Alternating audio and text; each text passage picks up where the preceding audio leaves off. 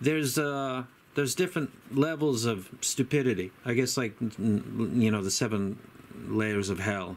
Um, there's there's multiple levels of stupidity, and I I traversed into several of them yesterday when I released a video. The the the the, the rankings are what I think. If anybody bought the number three, you you did a, a awesome choice for 109 bucks. Totally, totally, totally. What I didn't consider was two things. Me put these down for a second. That that these all are tying in right now.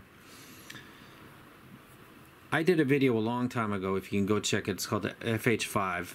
Called the FH5. It's a FH5 video, and before anybody had brought it up, I said taking the low frequency, the mid frequency, and the high frequency, and using a universal impedance to impede all of the frequencies with a the same material because low frequency travels through um, high frequencies reflect off. It just didn't make a lot of sense. And then I'm looking at the high end stuff and thinking that they've got bores for the frequencies. I mean, stuff that costs in thousands and thousands and thousands of dollars. It's ridiculous, but they pretty much have come to the conclusion that having those separated is probably and not blocked by uh, generic material like because these frequencies react different when they're forced to go around something. That's just my simple brain thinking. And when i took the screen off of the fh5 uh, it did make a difference. And then if you go look at later reviews people say you take the screen off or they'll say don't know if it'll make a difference but it might be worth trying. Uh, i can say for sure that the fh7 benefits from taking the screen off. Would this be on my list? Yes it would. Hence my first traverse into a layer of stupidity. This was the first one. It's a big one, but it's not the biggest one. Mm, this is me confessing on video. So if you ordered this, you think, why didn't that make the list? Uh, it would have if I had done this simple thing, but now I'm advising you take that screen off. And this is fantastic. Mm, whoops. Everybody that makes a list, somebody said yesterday, do you like Crinacle? Um, I respect him because he puts himself out there and says, you know, this, and there's constantly people that are criticizing him directly or behind his back. Um, when you make a list, you're opening yourself up for criticism. It would people that don't make lists are staying in a kind of safety zone, and that makes them not have to do what I'm doing now, which is saying, you know, oops. This set right here, the P ones, I got and I liked them but I graphed them and they came out super odd. And I didn't share that with anybody except the people that make this. And I said, if you sell this, and if they people start graphing it, you're gonna die. You, people put so much into graphs, whether you think it has value or not. If you release that, also this doesn't have those cables because they didn't think that out either. So those, if people are thinking you're gonna short your you know that those converters 3.5 to, to 2.5 and they're not in this pack so this is why you criticize or uh, constructive criticism. I wasn't saying anything wrong. People were coming in and saying, "Are those? That, is that going to short my Ant Man?" I said, "Are you guys sure that's not going to happen?" And I get a box, and it doesn't have that anymore. So, and then I said, I graphed that other one out, and uh, as much as it sounds decent and I'm not really picking up what that would be, it was at 1K and it was a massive dip and I was up in my slider and I wasn't noticing that much of a difference, but just the visual of that would be enough to turn off a, a bunch of people. They wouldn't even give it a chance, even though I thought it sounded good. I get this yesterday. I post up my video of my favorite IEMs and I decide I'm going to start listening to these. I didn't listen to this. Let me go back. Sorry about that. This is training fashion. I don't buy training fashion. I use old clothes. So, stuff you don't need to know, but I'm telling you anyway. Um, this is important because this is about music. Uh, someone going to show me what I played recently? No? Okay. Couldn't stand the weather. Stevie Ray Vaughan. DSD. Didn't know it was a DSD until I was looking at it. said ISO. Well, well, it's one bit. That's a fucking D- DSD.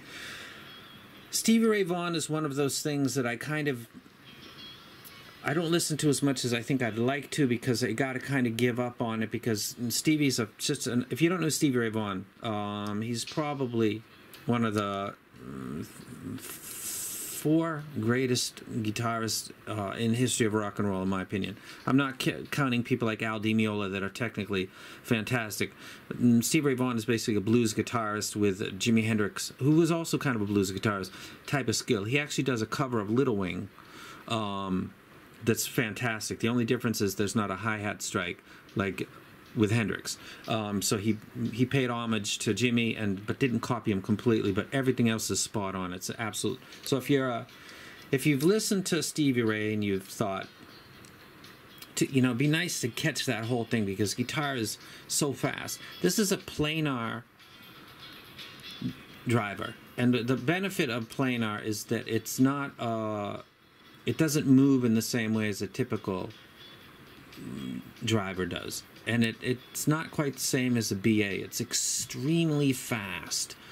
It's so fast that mm, there's there's no missing of anything. A, a, guitar solo by Stevie Ray Vaughan is a lot of stuff going on. There's decays of items that are overlapping other items where, where masking occurs. With planar sets, it tends to not suffer from masking. What happens with planar sets is you've got harmonic issues that come with vocals where you would have a very odd dip or uh, elevation right about at 1K and then off. What Tin Hi Fi did after I said, and probably others said, you, you this is, you're so close. Um, and then I was sent a picture of a graph on the internet and said, you know, what do you think of that? And I said, I you know I got to hear it, but that doesn't look like it's going to freak people out. So that that looks better. So go go ahead, send them. I get them. If you're if you're a, a, a graph person, ignore that. That's that's my that's the that's the thing popping out as I hit pause. Um, you've got a bass that you got 30 hertz that goes to four kilohertz. That rise from 1 to from 1 to 2 is about 3 dB. And then it, it's got that zone of 6, 7, 8 that some people find to be fatiguing. That's 10 right there. And it's, it's chopped down, which is something that a lot of the look at the difference between some of these. These are look see that 8K how high that is, but then preceding it, this is a kind of a Harmonesque type of curve. then you've got mm, stable little peaks. 8K is dropped right there. This would be the Anole. This is like a $2,000 set where it's got that swoop and then it comes back and it's got a very stable, you know, one and then it's got a slight dip at um, God, that would be probably about 5K. And then we've got this one where it's mm, right around 6. It's dropping. But this is a this is why Stevie Ray sounds so good. And at the beginning of this video, you saw me lis listening to uh, Pink Floyd. And I'm, what I was listening to was a song, but I was listening to um, the gate announcement. So if you know Pink Floyd on the run, that's a DSD too. And uh, there's a gate announcement. She's talking about get your passports ready, and it's a flight to Rome, and gate mm, seats number from this and to that, and then there starts the panning of the rocket ships going from left to right. And usually on a regular set, but prior to those ships coming in, or at that moment, you, the, the her, she kind of really falls back, and you can just kind of not catch her. With this set, a set of planar, and because of that tuning, I can hear this woman's voice. Some of you are thinking, who gives a fuck about a woman's voice?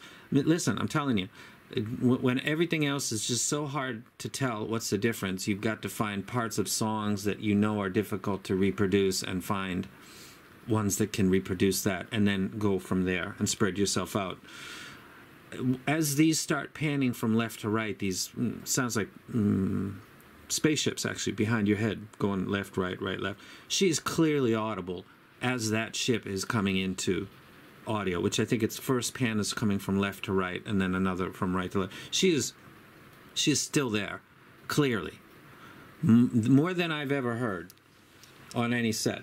and that's attributed to the the accuracy of minutia with a planar driver. So I'm listening to Stevie Ray Vaughan and picking up all, the whole thing. It sounds fantastic. That that whole area. It, let's consider this for a second. I'm I'm trying really hard not to be hypey. I don't know why I'm trying not to hype, but I'm I'm trying not to. Um, I, the the unique melody ME ones were something I love, but I had to do a lot of EQ around one to four K. This the, the one to four K is literally that that is four K. That whole area that usually has harmonic issues with all of the IEMs that I've tried that are planar is they I don't know how they did it. I'm I'm puzzled and impressed, and this is like the second level, third, fourth, and fifth, crossing into the sixth of stupidity, that I didn't give these their listen before I put out my my list. Laziness, busy. It was a work day. I, I, there's no fucking excuse. Because now I'm thinking, would this be like the second favorite?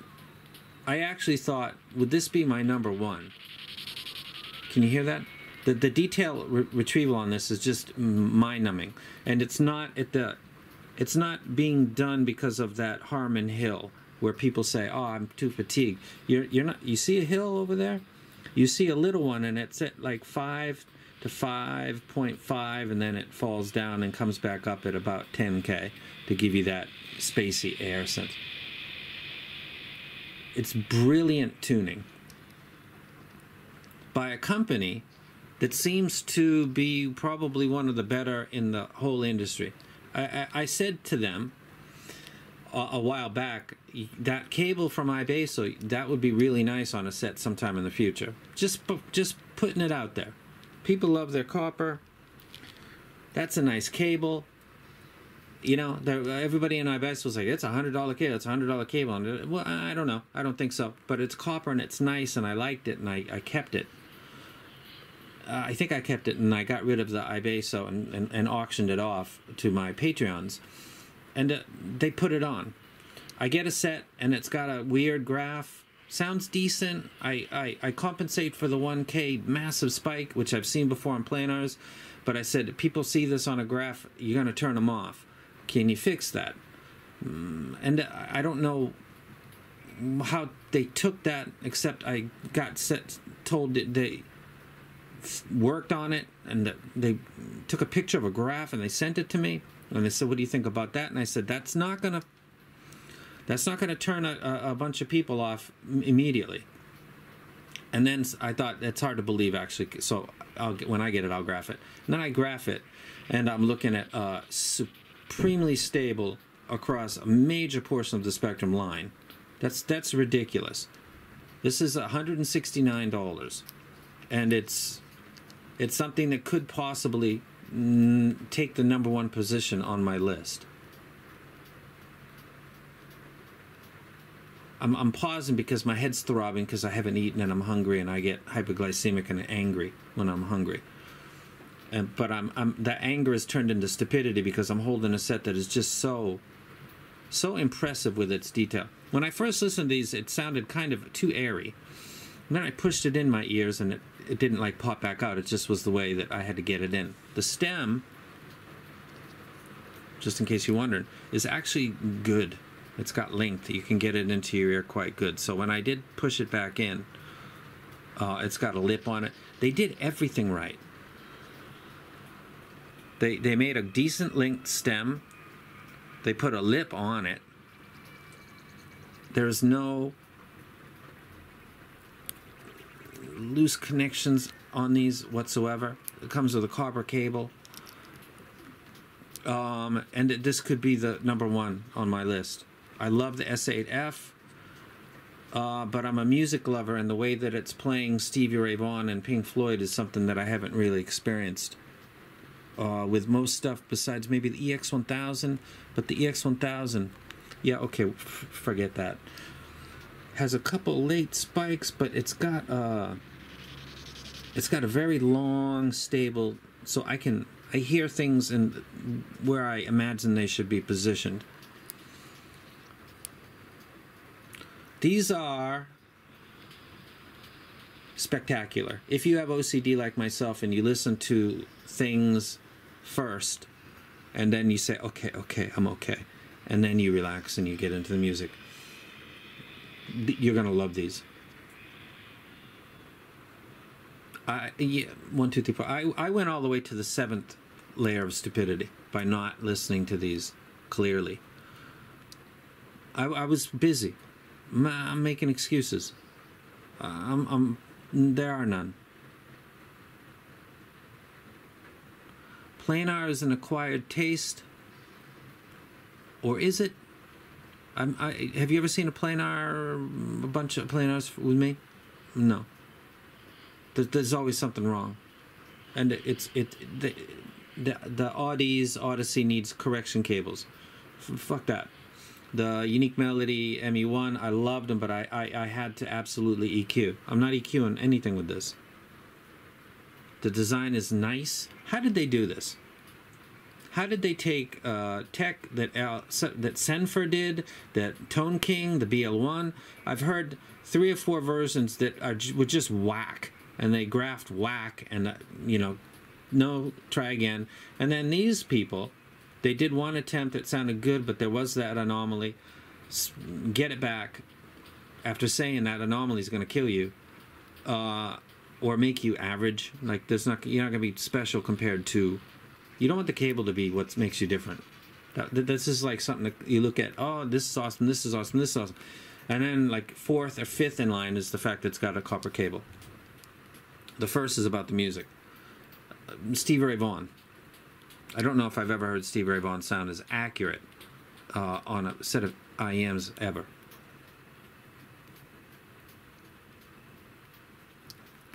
Uh, mind blown. My mind wasn't blown by the S8F, it was blown by the S6 Dewey because the S8F became, I thought that would be a better version of the S6, and it's mm, in small bits, it is in, in, in value it would be that my mind got blown by that because I, I never heard of that company. This is a bigger mind blown because I've just not heard planar done right in IEMs without some kind of assistant by a correction cable or by you having to say, okay, it's it's going to cost me some time with the EQ, but the detail retrieval is worth the effort. This is plug and play.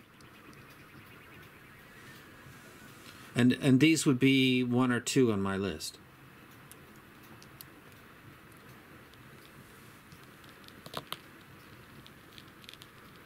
So people said, you know, why do you make lists? Because it, I keep track of my own evaluation and I just share it with people on video. So it's it's is it for you or for me? I think it's kind of for both of us. Then somebody said, "Do you like Crinacle?" And I said, he puts himself out there because with a list like I do, whereas people criticize you directly or behind your back, both, mostly behind. They do it to him. Companies don't like the clarity that graphs give because it, it and it's the reason that I said to, to Tin Hi-Fi or Tin Audio, I, I, I'm sorry that graphs are so important in this day and age, but with everybody in the measuring rigs, if you put something out there that's got a, a massive cavity at one, you are DOA you are dead before you arrive. Um, and thankfully, they didn't just be like, yeah, fuck this dude. They took it back and they fixed it. How? With that Y2K rig, did they do something? I don't know. I'll be talking about that more in the future. Um, I'm going to listen to these tonight, and there's a high possibility that the next month these will be my number one. And these are 150 bucks, and that blows my brains but uh, the music. And when I listened to these originally, I thought they were kind of bass light and the graph was kind of rolling off in the sub bass. But when I went back to Steve Ray Vaughan after I pushed him in, uh, the bassist on couldn't stand the weather. Mm, let's go back and look at another DSD. Oh no, let's. Okay, there's a DSD of Steve Ray Vaughan. It sounded fantastic. Then I did the please do not go jun jun do doon do doon do doon do do doon because bass might be a weak point of the planar. Nope. Nope. The vocals are not up in your face. They don't graph like that. The vocals are not odd because there's a weird peak. They don't graph like that. Eight, seven, and part of six is, not elevated. The area where most people stimulate. It's not remotely stimulating in that way. I. Mm, seventh. I crossed all seven layers of stupidity yesterday with that video. Um, but let me clarify the the number three TIs are uh, the number three by TFZ are right where they belong. Those are awesome. Mm, Tin HiFi. Uh, I just stole 20 minutes of your life again. This is like not the kind of video that these people want. Trust me, they want they want something like where you put all of this stuff laid out and you're like you get this tips and you get that and look at this case and like all of that stuff. This is not the way it's supposed to go. But i sat down and thought i'm going to listen to these. I wonder how they did. And then was like steve ray vaughan sounds like a boss. And then i looked at it and thought is that really DSD i didn't even know that was a DSD the steve ray vaughan one. Like how much i pay attention. And then i thought that sounds dope. The bass sounds light. Push them in. Bass sounds fine how th- th- this his guitar sounds so great. Let me go check something that's got like a clarity check, which is the on the run gate announcement by the woman at the airport talking about which rows can board and to get your passports ready. And I, I believe the flights to Rome. Never heard her extended so far as far as when the ships start to pan left and right. I can still cl- clearly catch her. So, the, first of all, does planar make a difference? It fucking does, and people have known for years. It's just so hard to get right. It's never been done correctly, as far as I'm concerned, in chi-fi in the in the affordable range. Even the unique melodies were required to have EQ, and these are 149 dollars. Duh,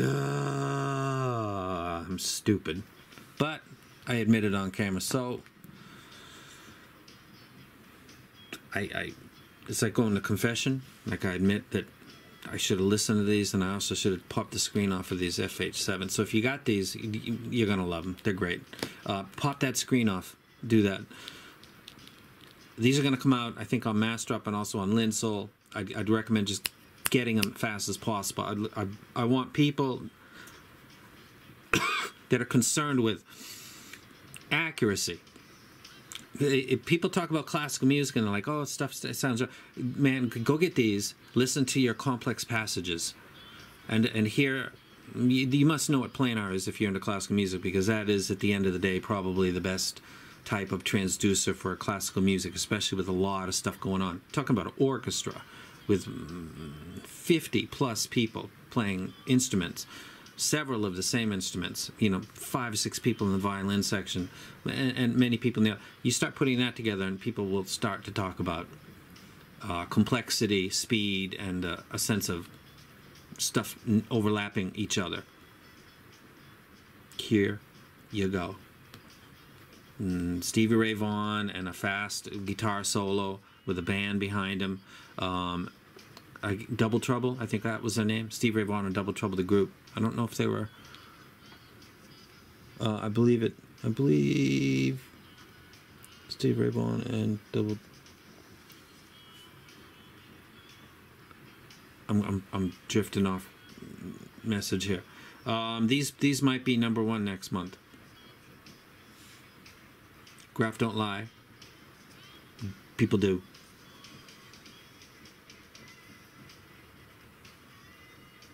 Do, do, do, do you like Steve Ray Vaughan? Can you hear that?